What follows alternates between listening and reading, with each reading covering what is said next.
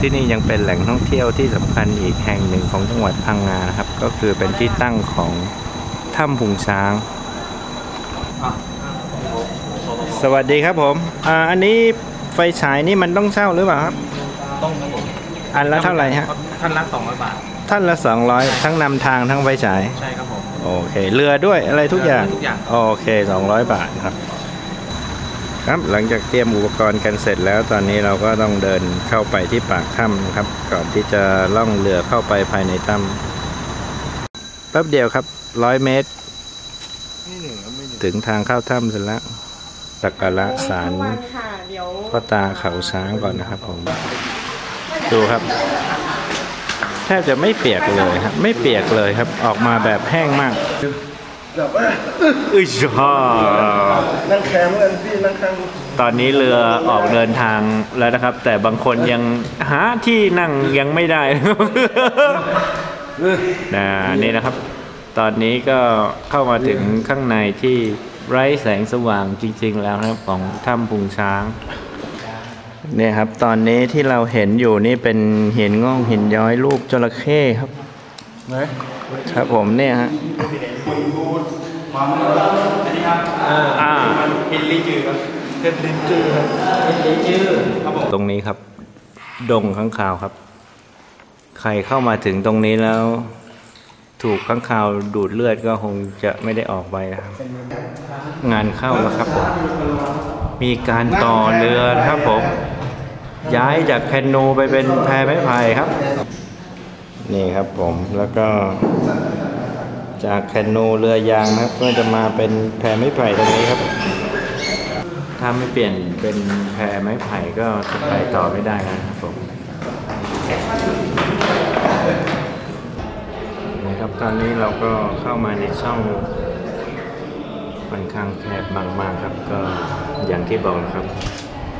ต้องเป็นแพไม้ไผ่อย่างเดียวเท่านั้นครับที่จะเข้าช่องนี้ได้ เอาละครับแล้วการเดินทางด้วยแพไม้ไผ่ของเราก็ ถึงจุดหมายแล้วครับ เราทุกคนก็จะต้องลงตรงนี้แล้วก็คงต้องเดินเท้าเข้าไปต่อ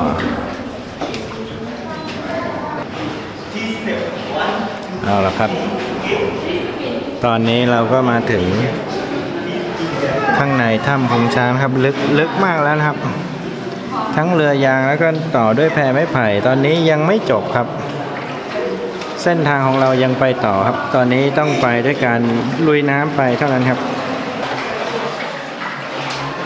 ครับแล้วตอนนี้โอ้โหนะครับเราก็จะเดินผ่านส่วนหนึ่งของถ้ำที่ว่าค่อนข้างแคบนะครับ โอ้โห ตรงนี้ครับ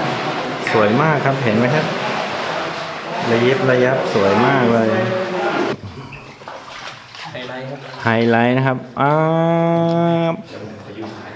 ไอ้ยะมันคือปากกาไฮไลท์ที่ไว้ขีดหนังสือไม่ใช่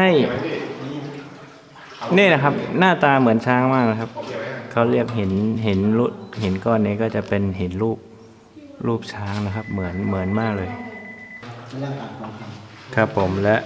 ตอนนี้ที่ผมกำลังยืนอยู่นะครับใกล้ๆกับ เห็นรูปช้างมหัศจรรย์นี่ฮะเขาเรียกอ่างทองคำนะฮะกับบัลลังก์ทองเป็นหิน หินย้อยครับ หินย้อยทั้งชุด เป็นหินย้อยชุดใหญ่ที่ที่สวยมากเลยเขามีหลายสเต็ปหลายชั้นมาก สวยครับสวย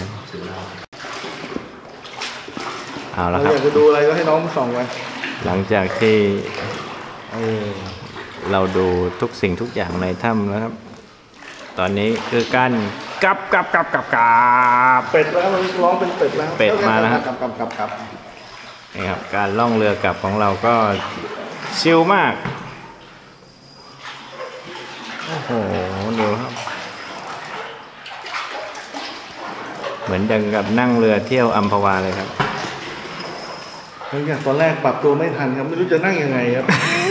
โอ้โหคือรถของหล่นอีกโอ้โหกล้องเปิดไม่ติดแฟลชยิงไม่ออกโอ้โหครบเซ็ตสารพัดนะครับ นี่นะครับ คนไม่ไหว้ศาลเจ้าพ่อเขาช้างนะครับ เอาเหรอผมไหว้คนแรกเลยครับเ